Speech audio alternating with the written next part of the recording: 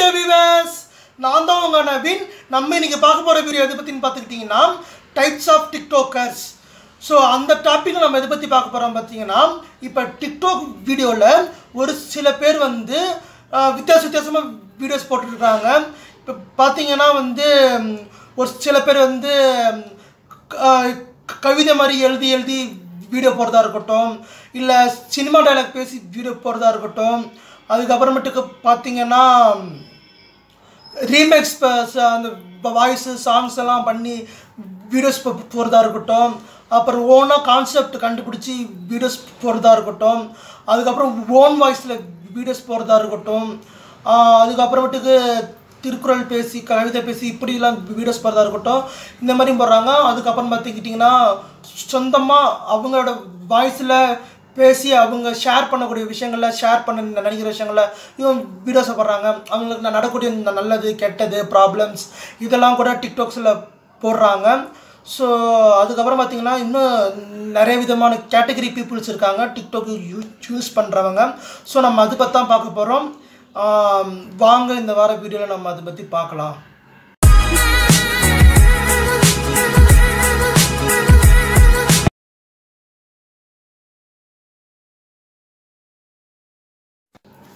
Types of TikTokers அந்த types of டிக்டாக்கர்ஸை நம்ம வந்து மூணு வகையாக பிரிக்கலாம். த்ரீ டைப்ஸ் ஆஃப் பீப்புளாக பிரிக்கலாம். ஃபஸ்ட் டைப் ஆஃப் பீப்புள் என்னன்னு பார்த்துக்கிட்டிங்கன்னா அந்த டிக்டாக்ல வரக்கூடிய சினிமா டைலாக்கை மட்டும் பேசி அப்லோட் பண்ணுறவங்க அதுக்கப்புறமேட்டுக்கு பார்த்தீங்கன்னா அவங்க ஊரில் நடக்கக்கூடிய சின்ன சின்ன காமெடியான விஷயங்கள் காமெடியான கிளிப்பிங்ஸ் எல்லாம் வீடியோஸில் போடுறவங்க அந்த வாய்ஸுக்கு தகுந்த மாதிரி.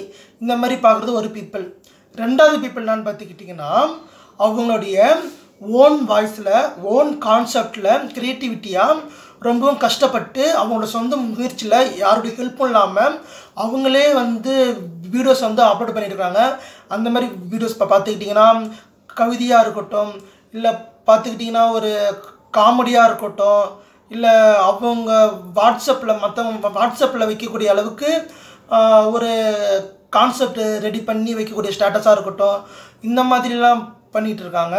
இந்த மூணாவது டைப் ஆஃப் பீப்புள் இருக்காங்கல்ல மூணாவது கேட்டகரி அவங்க எப்படின்னு பார்த்துக்கிட்டிங்கன்னா ஒன்றுமே இல்லை.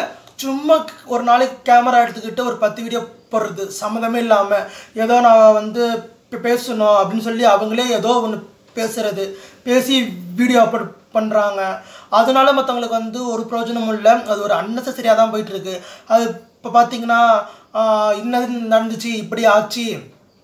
இந்த மாதிரி இப்போ பண்ணுறாங்க இந்த மாதிரி என் ஊரில் இப்படி இருக்குது அப்படிங்கிறத வந்து ஒரு சில பேர் போடுறாங்க. அது உங்களுக்கே தெரியும் நான் யாரெல்லாம் சொல்கிறேன் அப்படின்ட்டு. அவங்க வந்து அந்த மாதிரிலாம் பேசி போகிறதுனால மற்றவங்களுக்கு எந்த ஒரு பிரச்சனையும் இல்லை. அவங்க போடுற வீடியோ வச்சு ஒரே ஒரு பிரச்சனைனா மற்ற ஒரு அக்கௌண்ட்டில் ஃபேக்காக ஒரு ஒரு ஒரு பேர் சொல்லி அக்கௌண்ட் ஆரம்பிக்கிறவங்களுக்கு அந்த போடுறாங்க பார்த்தீங்களா அந்த பீப்புளை கலாய்க்கிறதுக்கு ஒரு நல்ல ஒரு வாய்ப்பாக அமையும். இதுதான் அவங்க வீடியோ மூலயமா இதாகுமே தவிர மற்றபடி ஒன்றுமே இல்லை. ஸோ இந்த த்ரீ டைப் ஆஃப் பீப்புளை பற்றி தான் பார்க்க போகிறோம் நம்ம இந்த வீடியோவில் இப்போ பார்த்துக்கிட்டிங்கன்னா ஆக்சுவலாக டிக்டாக் அப்படிங்கிற விஷயம் எப்படி ஸ்டார்ட் ஆச்சு அப்படின்னு இப்போ பார்த்துக்கிட்டிங்கன்னா நம்ம வந்து இப்போ வீட்டுக்கு முன்னாடி கண்ணாடியிலலாம் பே பேசுவோம் பார்த்தீங்களா அது சினிமா டைலாக்காக இருக்கட்டும் சும்மா பேசி பார்ப்போம்ல. ஸோ அந்த மாதிரியா இருக்கட்டும். இல்லை ஏதோ ஒரு டைலாக் டீல பார்க்குற டைலாக் நம்ம மனப்பாடம் பண்ணி அப்படியே பேசி நடிக்கிறதா இருக்கட்டும். ஸோ இந்த மாதிரி பண்ணிட்டு இருந்தோம். ஸோ அந்த மாதிரி டைமில் என்ன ஆயிடுச்சு? டப் ஸ்மாஷ் அப்படின்னு சொல்லி ஒரு விஷயம் வந்துச்சு. அந்த டப் ஸ்மாஷ்னு சொல்லிட்டு ஒரு விஷயம் வரும்போது என்னாச்சுன்னு பார்த்துக்கிட்டிங்கன்னா அதை வந்து ஒரு சில பேர் வந்து அவங்க ஃபோனில் வந்து இன்ஸ்டால் பண்ணி அவங்க வந்து யூஸ் பண்ணாங்க. அதில் ஒரு சில சினிமா டைலாக்ஸ் எல்லாம் இருக்கும். அதை வந்து அவங்க இது பேசி அதை வந்து இது பண்ணுவாங்க அப்லோட் பண்ணுவாங்க. அது பார்த்தீங்கன்னா ஒரு பேராக இருக்கும். ஒரே அந்த தஷ்மாஷில் ஒரே இந்த பேராக இருக்கும். இப்போ இப்போ ஃபஸ்ட்டு எடுத்தோன்னா தமிழா இங்கிலீஷா ஹிந்தியா தெலுங்கா அப்படின்னு கேட்கும் நம்ம தமிழ் கொடுத்தனா தமிழ் ஆக்ட்ரஸ் வருவாங்க இங்கிலீஷ் கொடுத்தா இங்கிலீஷ் ஆக்ட்ரஸ் வருவாங்க ஹிந்தி கொடுத்தா ஹிந்தி ஆக்ட்ரஸ் வருவாங்க. இப்போ நம்ம த தமிழ் கொடுக்குறோம் அப்படிங்கிறப்ப ரஜினி கமல் அப்புறம் விஜய் அஜித் அவங்க அவங்கெல்லாம் வருவாங்க. ஸோ அவங்களோட இது பேர் கொடுக்கும்போது ஒரு ஒரு படத்தில் உள்ள பேராக கிளிப்பிங்காக வரும் அப்படியே ஆடியோ கிளிப்பிங் வரும். அதை நம்ம வந்து கொடுத்து பண்ணுவோம். ஸோ அதை அப்படியே கொஞ்ச நாள் பண்ணிகிட்டு இருந்தோம். அது வந்து தான் ஆதித்யாவில் வந்து ஆதித்யா தப் ஸ்மாஷ் அப்படின்னு சொல்லி போட்டுட்டு இருந்தாங்க. ஸோ அதுக்கப்புறம் என்னாச்சுன்னு பார்த்துக்கிட்டிங்கன்னா மியூசிக்கலி அப்படின்னு ஒரு விஷயம் வந்துச்சு. டப் ஸ்மாஷ் வந்ததில் மியூசிக்கலி அப்படின்னு சொல்லி ஒரு விஷயம் வந்துச்சு. அந்த மியூசிக்கலிங்கிற விஷயம் வரும்போது கொஞ்சம் என்னன்னு பார்த்துக்கிட்டிங்கன்னா வீடியோவாக இருக்கும். அதாவது பார்த்துக்கிட்டிங்கன்னா ஒருத்தவங்க ஒருத்தவங்களோட வீடியோ வரும். அதை வந்து நம்ம கிளிக் பண்ணோன்னா அவங்களோட அக்கௌண்ட்டில் போவோம். அது வந்து நம்ம மியூசிக்கலி பண்ணுற மாதிரி இருக்கும். ஸோ அந்த மியூசிக்கலி வந்து கம்பெனியை டிக்டாக் அப்படிங்கிற ஒரு கம்பெனி இப்போ வாங்கி அது டிக்டாக் அப்படின்னு சொல்லி இது பண்ணிட்டாங்க. இப்போ டிக்டாக் தான் அண்டர்டேக்கிங் ஸோ இப்போ டிக்டாக் அப்படிங்கிறப்ப அது பார்த்தீங்கன்னா ஒரு ஃபைவ் பில்லியன் ப்ளஸ் மேலே அந்த இதை வந்து அந்த ஆப்பை வந்து இன்ஸ்டால் பண்ணி எல்லாருமே யூஸ் பண்ணிட்டு இருக்காங்க. இப்போ நான் சொல்கிற இந்த மூணு ஆப்புமே இந்த பத்து வருஷத்துக்குள்ளே. ஆக்சுவலாக இந்த ரெண்டாயிரத்தி நாலு ரெண்டாயிரத்தி அஞ்சுக்குள்ளே வந்தது தான். ஸோ ரொம்பவும் ஃபெமிலியராக ஆனது எப்படின்னு பார்த்துக்கிட்டிங்கன்னா இந்த ரெண்டாயிரத்தி பதினஞ்சு ப பதினஞ்சுக்கு அப்புறம் தான் பதினேழு பதினெட்டு பத்தொம்போது. இந்த மாதிரி இதில் தான் இதாச்சு இந்த மாதிரி ஒரு இதில் தான் இப்படி ஆகிட்டுருக்கு இப்போ இப்போ பார்த்துக்கிட்டிங்கன்னா டிக்டாக் வர ஆரம்பிச்சதுக்கப்புறம் தான் எல்லாருமே ரொம்ப ஃபேமஸ் ஆனாங்க.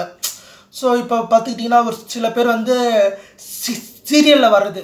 அதாவது சீரியல் மீன்ஸ் ஒரு ஒரு ரியாலிட்டி ஷோ அந்த ரியாலிட்டி ஷோவில் வரதை வச்சு கிளிப்பிங் பண்ணி அதை வந்து இது பண்ணுறது ஸோ இது மாதிரி இது எல்லாமே பண்ணிட்டு இருக்காங்க அது மட்டும் இல்லாமல் இப்போ நான் வந்து பார்த்துக்கிட்டீங்கன்னா அந்த டிக் டிக்டாக்ல இப்போ வந்து இது இப்போ ஒரு இதுக்குன்னு ஒரு ஃபங்க்ஷன் வைக்கிறாங்க.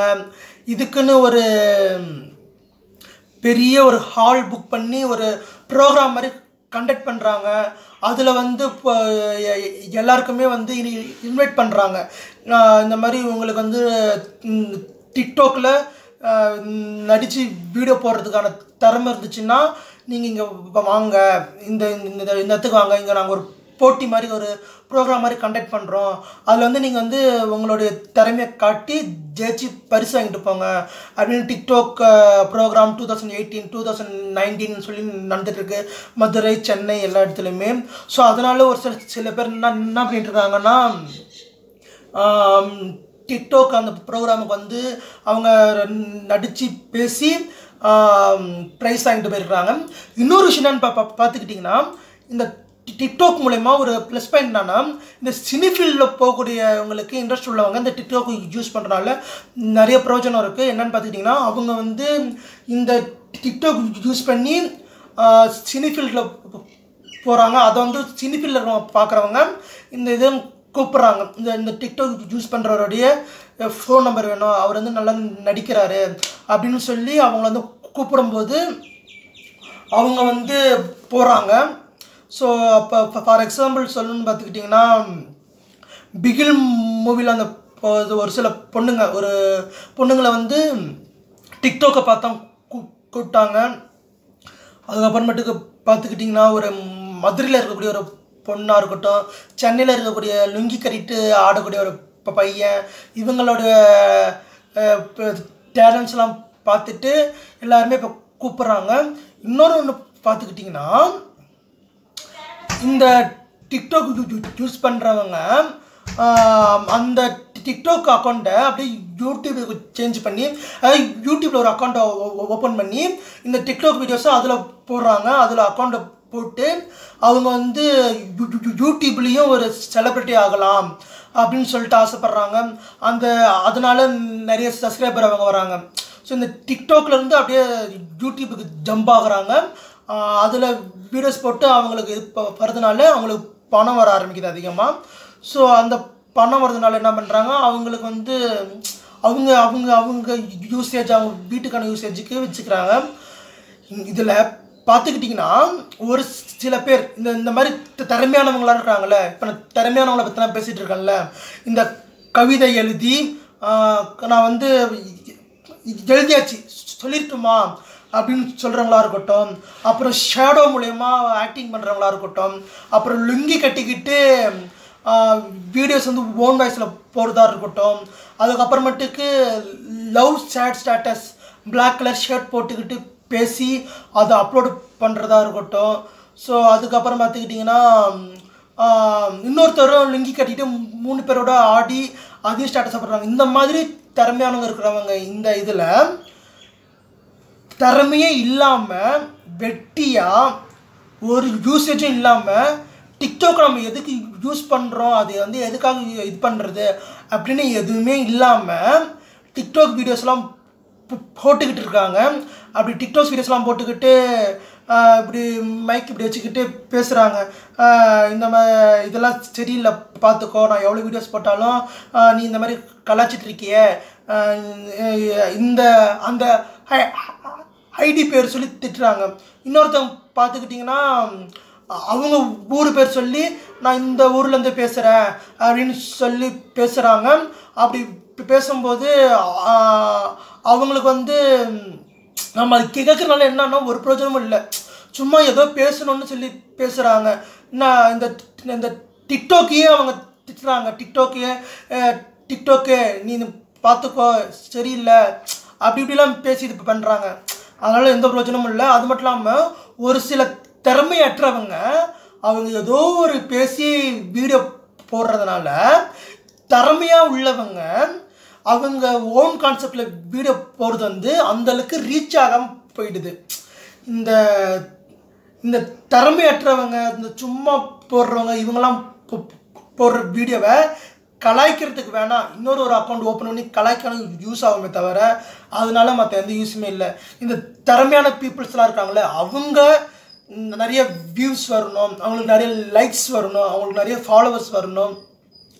அவங்க வந்து இன்னும் ஒரு ஸ்டெப் மேலே போகணும் அவங்களுடைய எய்ம் அவங்க அச்சீவ் பண்ணணும்.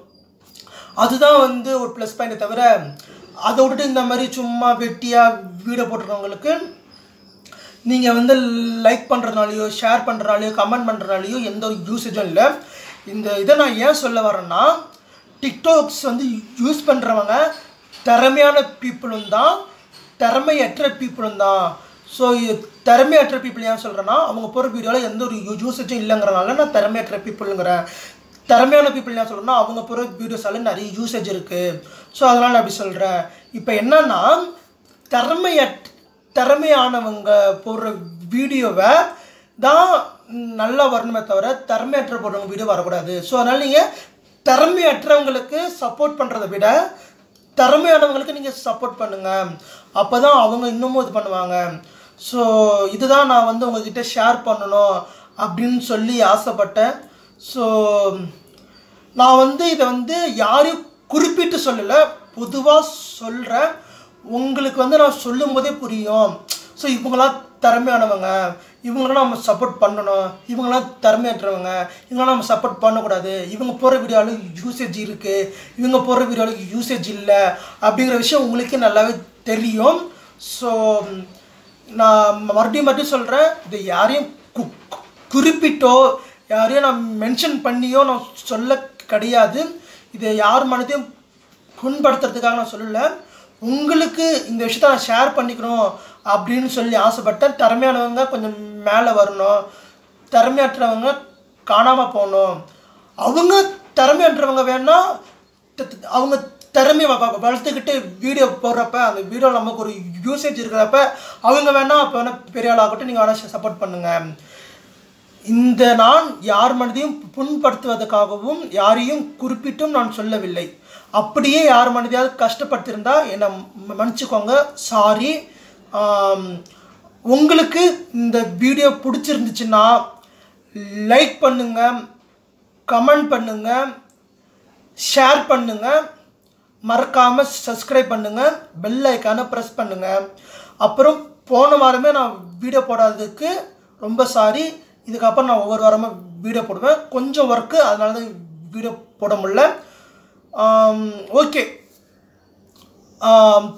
Thank you viewers